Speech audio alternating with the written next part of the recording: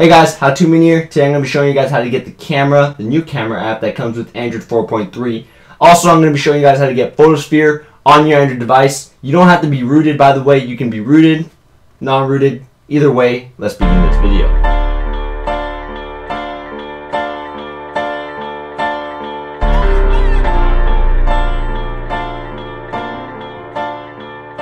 Alright guys, so let's get right into it. Uh, let me just start off by saying when you install the APK file that I leave for you guys, it's actually going to install the gallery app and the camera app at the same time.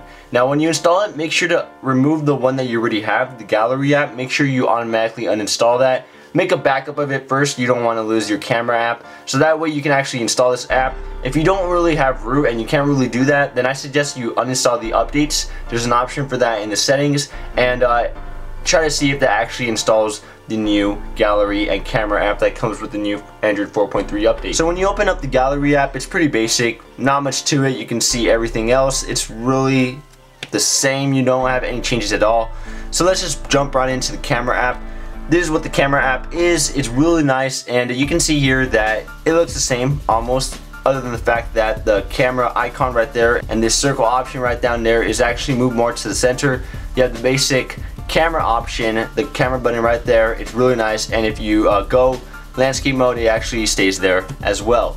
So not much change there, you can see I can actually hold on to it and it's not that circle menu you have anymore, you actually have an arc menu, so you have the option of not having your thumb cover any of the other options that are included in this application you can see you have more settings. Uh, going down here you have exposure and you have flashlight mode and you have front facing camera or back facing camera. You can go into those options. I can actually go in here and it seems smoother than the other application that was on the one before I had this one. And if I take a picture, you can actually see it goes right there like a little camera app. You didn't really have that option before. Alright, so going back, I just want to show you guys you can actually get this photosphere as well. I downloaded this on my Galaxy Note 2.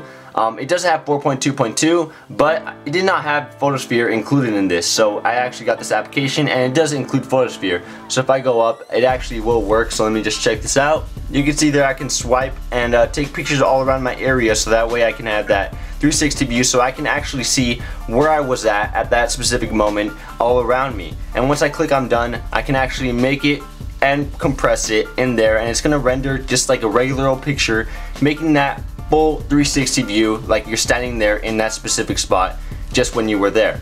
I didn't really find a bug with this application. A panorama view works. Uh, you can also have it work for your video camera and take pictures as well. Very smooth. The only problem I had with this camera app was that the image quality wasn't as good as the one I had in my camera app that would take pictures in better quality. Um, the one in the camera built in your phone might have better quality mainly because this is just an application, an APK installed on your device. Um, not meant for your device specifically because really you're not supposed to have uh, Photosphere or anything. But trust me, it is free, it is legal. Please don't yell at me or anything, it's legal, trust me. And uh, I'm pretty sure this is to work for your Android device. Please leave a comment, tell me if it works or not, if it's supported for your device. I would like to hear from you guys. And give it a thumbs up, subscribe, and I'll see you guys in the next video. Kapow!